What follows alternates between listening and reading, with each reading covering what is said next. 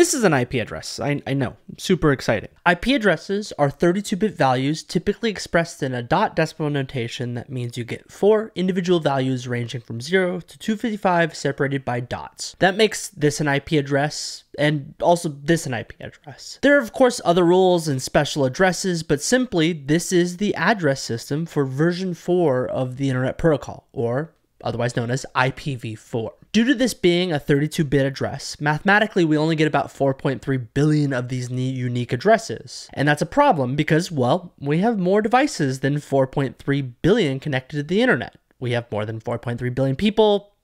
You can do the math. Now, we have a workaround. It's called NAT, which is another topic for a different video. But IPv4 was still created in the early days of the internet it has limitations beyond just us running out of addresses. So we created a new version called IPv6, and unfortunately, its addresses are just uglier. IPv6 uses a hexadecimal notation, which means we get integers and the letters A through F to represent 16 values instead of the normal 10 we get with 0 through 9. These values are now separated by colons. That makes this a 128 bit address, and we won't run out of these in our lifetime. Even if every single thing with a microchip had an IP address, we have like 340 undecillion addresses in IPv6.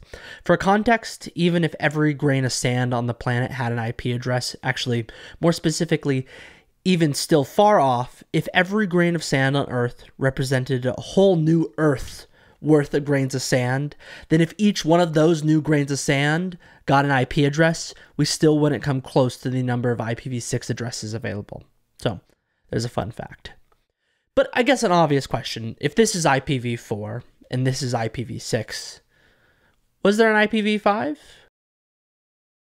Let's go a little bit back to the 1970s. And in the very, very, very early days of the internet before we know it today, researchers at DARPA and various other universities were just experimenting with point basic point to point networks. And these networks were slow.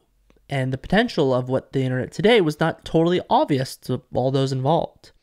Some of the researchers initially saw it, the internet, that being, as a primarily as a way to share expensive computing resources between research institutions the early focus was on things like remote login to powerful computers and file transfers between scientists. A question was proposed, though what if we wanted to make a call? Send your voice over these networks. Now, this was difficult in the early days, not just because the networks were slow, well, because they were slow, but because a voice application that would be built on these networks didn't know how slow at any given time. They needed this information to decide how and if they can send and receive voice in an acceptable quality. And this is something you don't get with the Internet Protocol. This is a fundamental quirk or feature of the IP system. It's connectionless. IP is a system for routing or pointing data where it needs to go. It alone does not handle the data getting there correctly or in the right order or at all. It uses other protocols built on top of it to do that. Think of it like the home address printed on the side of delivery for a couch that you bought on, let's say, Temu. The address and postal service gets the couch to the right location or the right address, but it doesn't say if it fits to the front door or if it's the right couch. This is a problem for transmitting something like voice. Let's look at a diagram. We have two computers here. Computer A has a good network and it wants to transmit the best quality it can send. Computer B has worse bandwidth but still can transmit and receive usable voice and it also wants to send the best quality it can, but at a lower quality than computer A can send.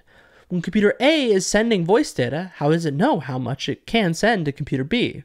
Or if there's even enough network available to send and receive and sustain a call? The Internet Protocol doesn't establish this ahead of time, which would mean a bad experience for both computer A and B in this case. So there was a thought in the early days that we would need to build special networks just for things like voice that would require high bandwidth and reliability, one that would take into account the connection ahead of time.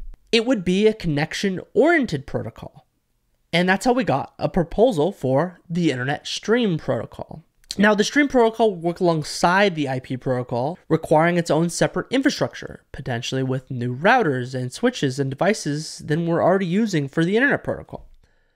The Stream protocol did many things, but importantly, it would negotiate what both clients could handle.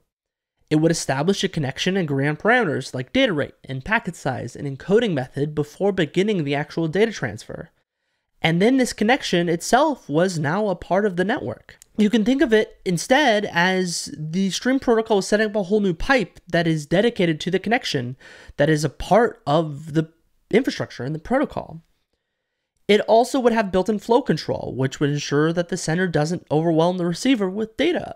And it was an early reference to concepts like multicasting that would allow a single device to transmit to multiple others at the same time, needed for something like a conference call. Lastly, it included mechanisms to handle the unique data requirements of talking, mostly that as someone is speaking, the speaking, the data for the actual voice required more data than dead air. So the protocol had algorithms to account for these peaks and when someone is speaking. This especially mattered for things like conference calls or where multiple people were speaking at once, which required sophisticated packet prioritization and timing mechanisms because these networks might not be able to handle the data requirements of many people talking at once on a conference call.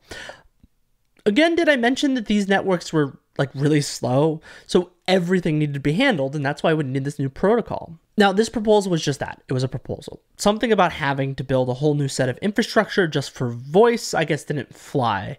So the stream protocol never really came to be. But importantly, a lot of its concepts made it into other protocols of the era at different layers of the stack. Now, here's the thing though Fast forward a few years, the 1990s, networks were a lot faster. We could send and receive calls over protocols built on top of IP and its protocols with relative ease. But a new challenger approached that had new data requirements video and the rise of real time, high data required applications. So the Internet Stream Protocol was reintroduced in a new version in the 1990s as ST2, and it, it did more stuff. But importantly, it now had a focus on video and the new bandwidth requirements that come with sending receiving the large amount of data that comes with that. And additionally, for other high data intensive applications, think of things like connected devices or what we consider IoT today. The vision for ST and ST2 was to create a network protocol specifically optimized for real time continuous media streams. The designers at the time envisioned a future where voice and video communication over networks would be as common and as reliable as traditional telephone calls. And they were right. A large portion of the bandwidth on the internet today is for streaming media and communication. But like the original stream protocol, ST2 is still not based on IP. It worked alongside it, and as a backup, the stream protocol packets can be encapsulated and routed over IP, but to get all of its features set, like its connection oriented design, it required routers and networking infrastructure that could support it as a parallel different standard. So, because of this burden, you know, new infrastructure, again, ultimately, still many of its best features, such as multicasting and quality of service and resource reservations, getting adopted into other layers of the stack, the proposal for the Stream protocol, again, did not make it past that, a proposal. So that's the Internet Stream Protocol. But if it's not IP, how did it take IPv5, right? How did the Stream Protocol matter between IPv4 and IPv6? In the traditional IP header, there is a field called version, which is four bits long, which is the only shared part between the header of an IP system and the stream protocol. IPv4 is number four, it's version four. So the designers of the stream protocol chose to use the number 5, simply to avoid ambiguity, even though the systems were not interchangeable. Even when you're using ST encapsulated within IP, like I mentioned earlier, it would still use IPv4 as the header. Also, the stream protocol did not have its own address system in the same way, so it would use IPv4 in that sense. Setting this version to 5 was simply to avoid confusion, even though it wasn't a direct successor to IPv4 or a precursor to IPv6. So there's no IPv5, but there was something that took the place of version 5 in the header space. You get the point. Let me know if you like the format shift. It was more fun for me to do this. I like talking about the internet. I want to do this more. Um, and I decided instead of fighting Linux nerds uh, in the comments section, I'm going to take on the far bigger and scarier networking nerds. So, whatever I said wrong, however you feel, let me know in the comments. Uh, thanks for watching. Uh, talk to you later.